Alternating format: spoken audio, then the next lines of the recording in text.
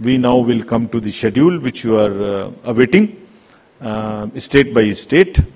And uh, now to start with uh, from the Mizoram, the date of poll will be 7th November and date of uh, counting would be 3rd, which is common of course for all these states and elections in all these states would be completed by 5th of December. So date of uh, poll is 7th November.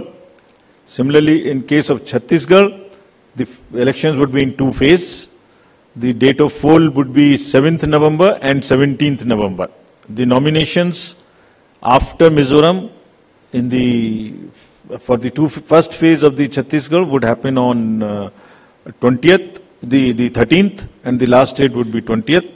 Date of poll being 7th November, and for phase two, 17th November.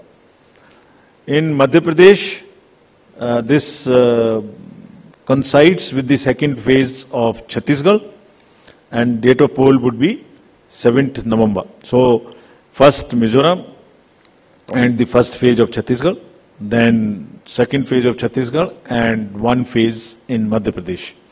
Thereafter, Rajasthan, where the date of poll will be 23rd November in one phase entirely in Rajasthan.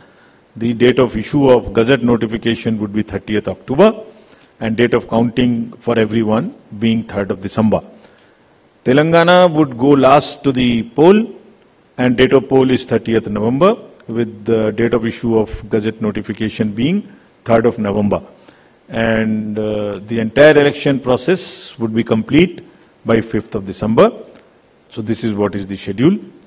And again, I request all of you, through all of you, to all the voters to please come and exercise in the festival of democracy in a true sense. Thank you very much.